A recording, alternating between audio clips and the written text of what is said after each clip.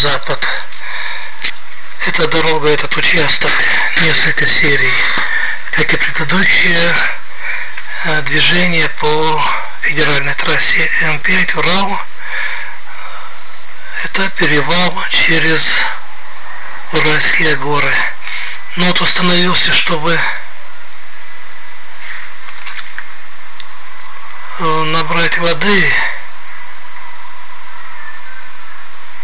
Но тут все под замком. Непонятно, почему источник и вот кто-то там вешает замки и так далее. Очень неприятно и мне очень не понравилось. Вот. Ну, трасса М5, она широко известна водителям, как дальнобойщикам, так и автопутешественникам, автотуристам. Это один из наиболее опасных участков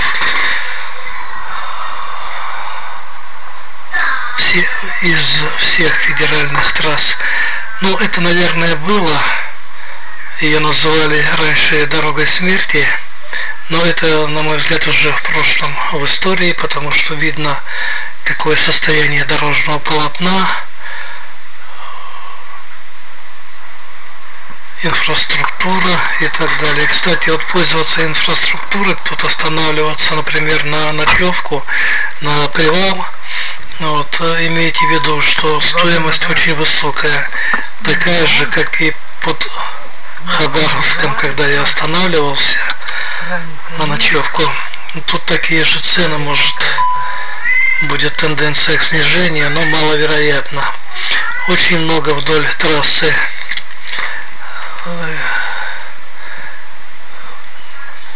этих развалов, палаток, магазинчиков. Там можно купить все что угодно. Все что угодно. Начиная там ну не знаю, от гвоздей и заканчивая ну там телевизорами и так далее. Вот цены вполне приемлемые, потому что поставки из Китая. Вот очень много сувенирной продукции. Но как мне потом сказали, что вот эти вот сувенирная продукция из малахита и других самоцветов уральских, они вроде бы делают все это в Китае, потом завозят в Россию и продают как э, продукцию ну, вот, этого региона.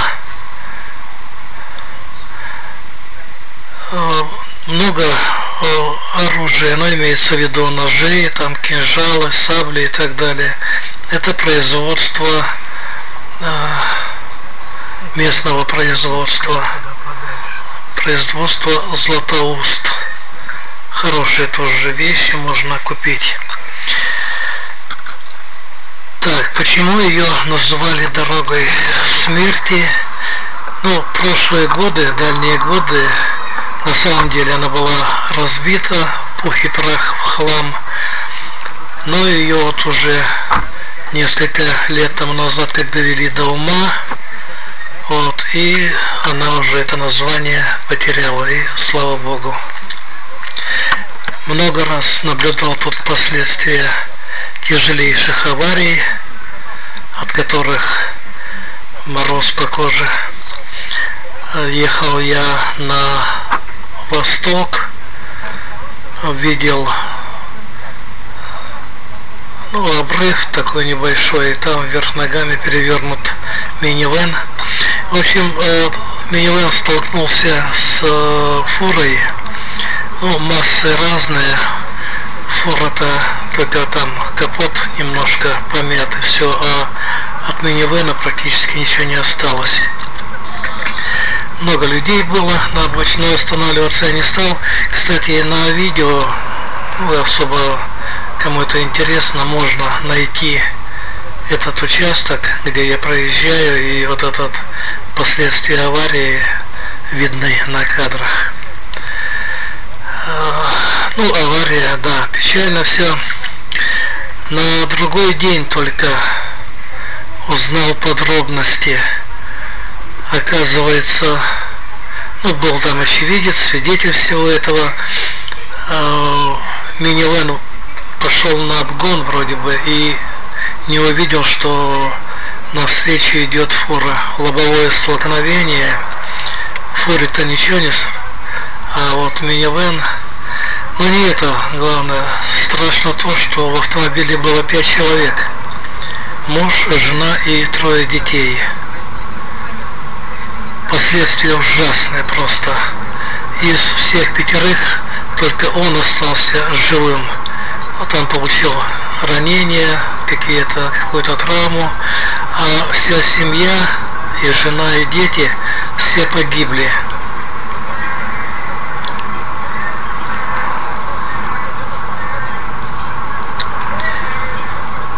Даже трудно говорить. А, что переживает этот водитель. Я не знаю, сможет ли он жить дальше.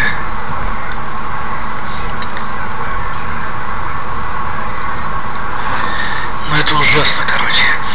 Много, очень много аварий здесь было. Ну, вы сами посмотрите, какая интенсивность движения. Интенсивность движения очень высокая.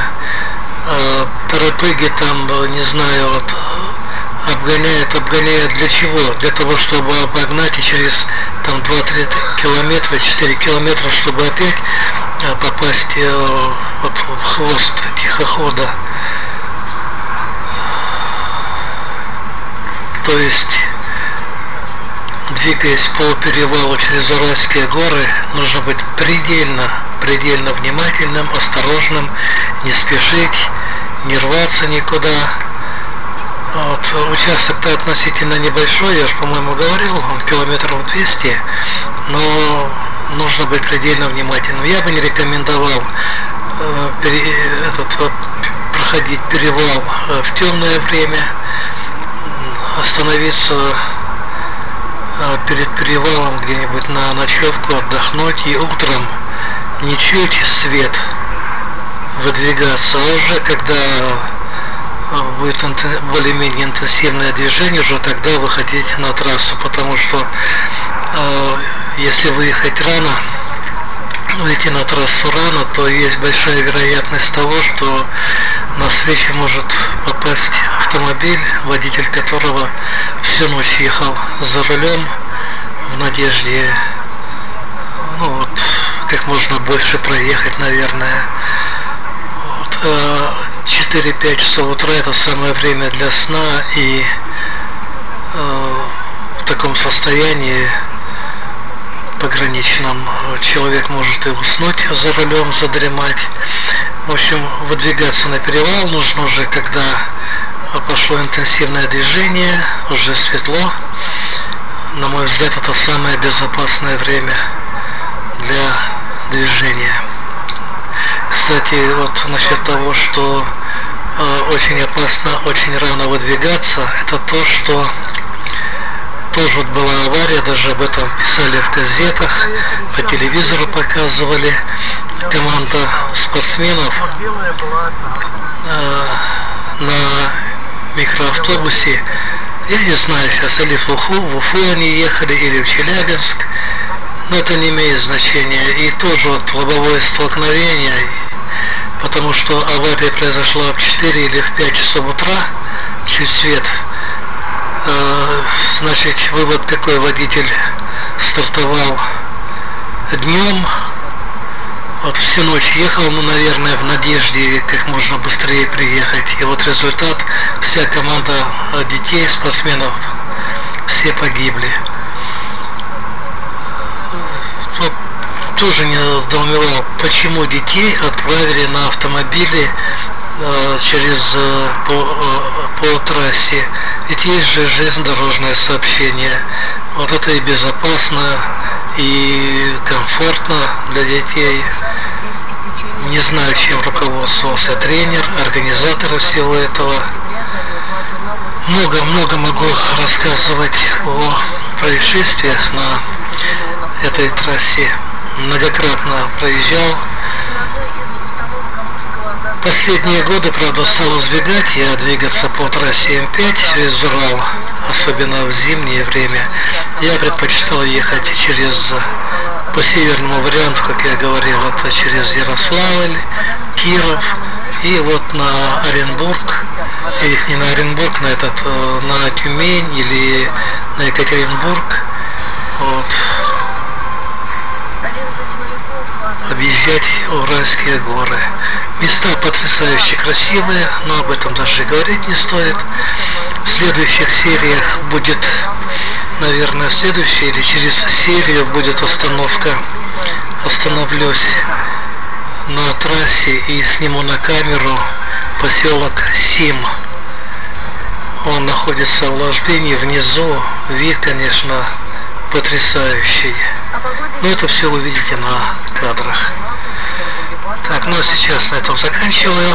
Продолжайте смотреть видео.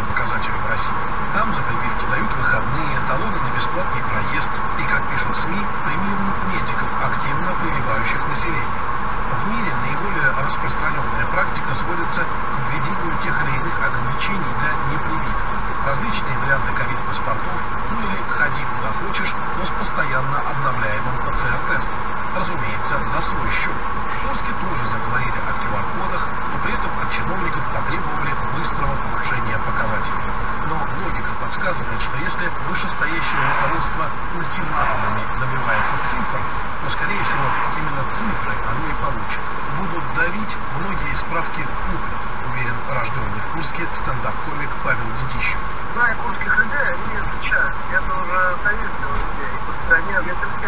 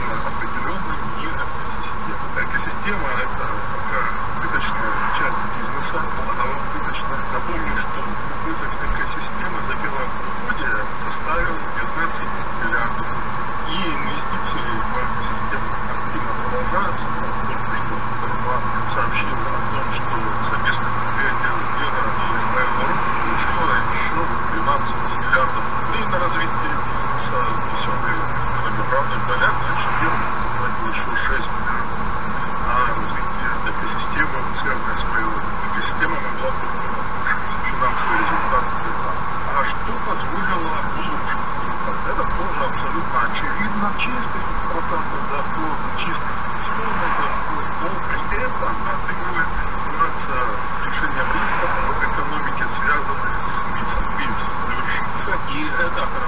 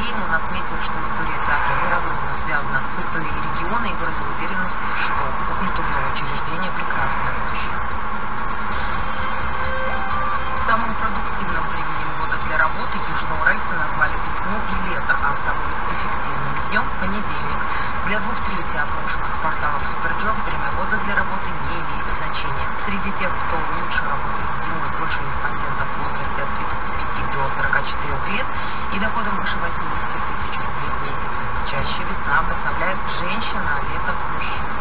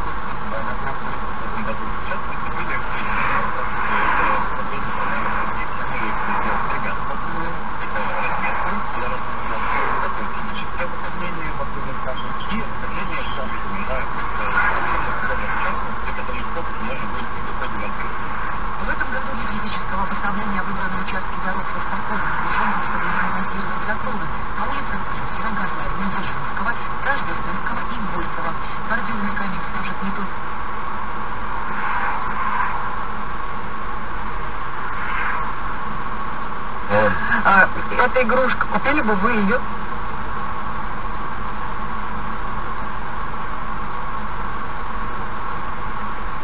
А ребенок, как там роли примерять, да? Говорить за куклу, отвечать кукле. Вот, э, тут все гораздо проще. Искусственный интеллект на машине. А представляешь, ребенок, первого для ребенка будет разговаривающий, если он привыкнет э, к тому, что игрушки ему отвечают. Он поедет, допустим, на дачу к бабушке и дедушке, а там все игрушки молчат. Да, я говорю, это будет воспринимать ребенка как пассивная агрессия. Да. Да, ничего не обиделись, на них не знаю, что. Меня бабушка с дедушкой с тобой тоже не разговаривают. Не знаю, я их ничего не спрашивал. А вот игрушки ничего не говорят совсем. Кошмар какой. Так, у нас есть, нам еще отправить. Да. Ну давай, сразу в Китай отправимся. Давайте, из Белоруссии сразу в Китай. А там выпустили устройство для разбора, внимание, танцующих бабушек. Вот это проблемы. Вот это проблема. Нет, а хорошо жи- живут в Китае бабушки. Отлично. Можно даже Да. позавидовать. Знаешь, молодежь жалуется на громкую музыку, которую включают бабушки. Бабушки. У нас жалуются бабушки, что молодежь включает громкую музыку, а в Китае совершенно наоборот. А на китайском языке девайс э, называется устройство против скверденса. Такой Скверденс. красный пульт с функционным управлением, похожий на фонарик. А, Чтобы воспользоваться, нужно подойти к музыкальной колонке на расстоянии даже 50-80 метров и нажать там зеленую кнопку на По корпус. сути, дистанционно отключает колонку, вокруг которой собрались бабушки. Да. Ну, аппарат э, тоже создает какие-то тонейшие, может вывести источник звука из строя. Бабушки А у нас? Бабушки танцуют под гармонист. А гармониста с расстояния 80 метров не отключишь. Это дистанционного управления. Да, да, вот поэтому мы не победим. У нас есть гармонисты, а не вот эти вот всякие китайские колонки. колонки, малонки, доброе баллонки. С удовольствием купил бы внуку обычные деревянные кубики. Сейчас даже Лего не развивает фантазии. Что на коробке, то и собрали. А что только не делали мы из деревянных кубиков. А от таких кукол точно надо держать детей. А дальше, видишь, наша э, искусственница Татьяна. А бабушка с колонок нужно ли держать подальше? А, Позавидуй, сколько у них бабушек. М, Какой досуг. А занимаются спортом, общаются друг с другом, музыку, не даже А хотят бабушки. Пост. И им предлагали, чтобы